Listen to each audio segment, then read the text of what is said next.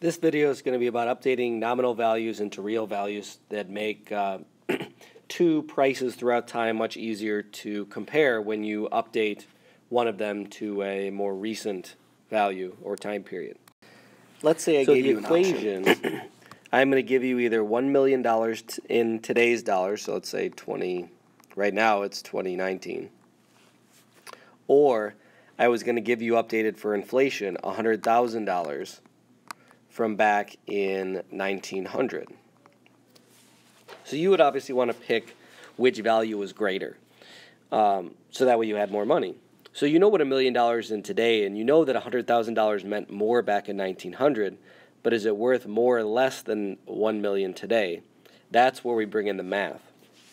So what we're going to do with this these numbers is we're going to take this $100,000 from back then and we're going to update it for inflation.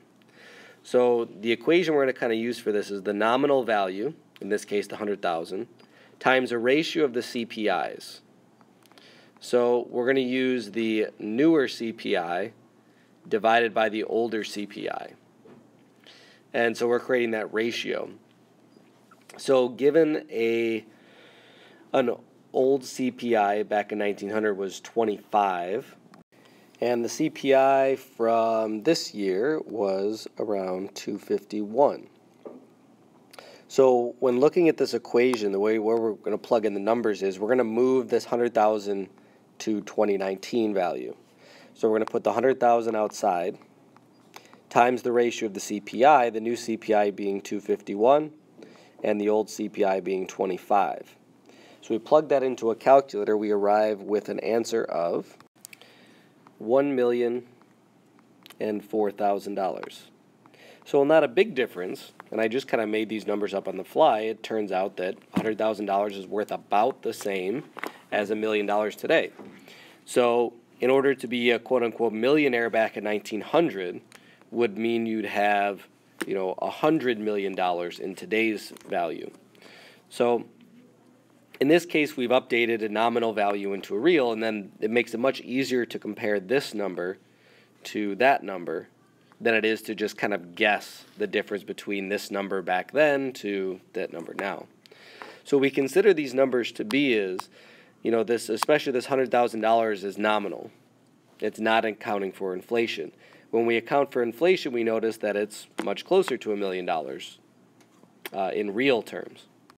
So what this number tells us is $100,000 back in 1900 bought us what today we would consider to be a million dollars worth of goods and services. So if you had a $100,000 salary 100 years ago, obviously that's a lot, but that would be like having a million dollar salary today. So that it gives us a better sense of what that means. So as you look at these pages, these are going to be the pages that are very similar looking in your unit packet. So the equation doesn't really change. So we have that nominal value times the new CPI over the old CPI. What you're going to do is you're going to rank the top grossing films of all time in real value. What's listed here is the nominal gross value domestically of the top grossing films as of January 2018. So Star Wars The Force Awakens in nominal value made 936 million. The movie was released in 2015 it's not fair to compare when you think about what ticket prices are now, which are about $10, $11. You know, Star Wars back in 1977, you can venture a guess that the ticket prices were lower, but just how lower?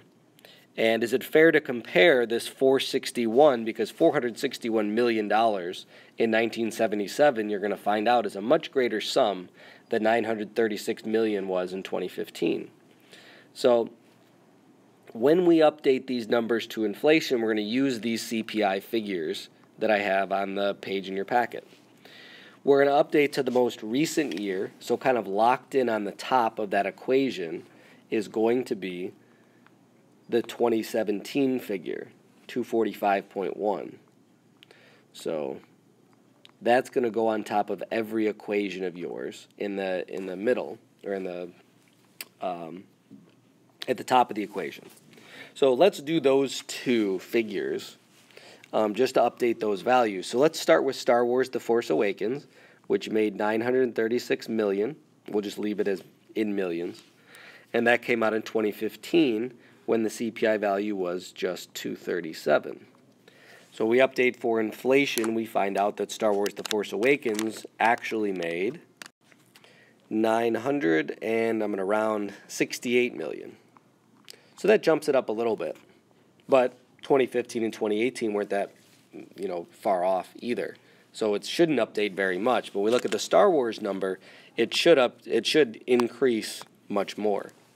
So the Star Wars made 461 million just coming from the chart in 1977 times the ratio of the CPI with 245.1 still going on the top because that's going to be our comparison year. And in 1977, the CPI was 60.6.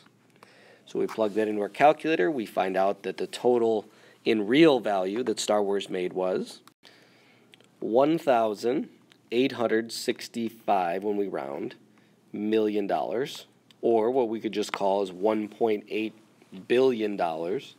So we see that in nominal values it's unfair to compare because back in Star Wars days it might have only been 30 cents to go to a show. It might have been 50. I don't I don't know exactly because I wasn't alive in 77 either. But I do know that it's less than now obviously and much less. But now when we update these numbers we can compare because now what we're doing with this math is saying what if everybody had to pay today's va- value uh, in movie ticket prices?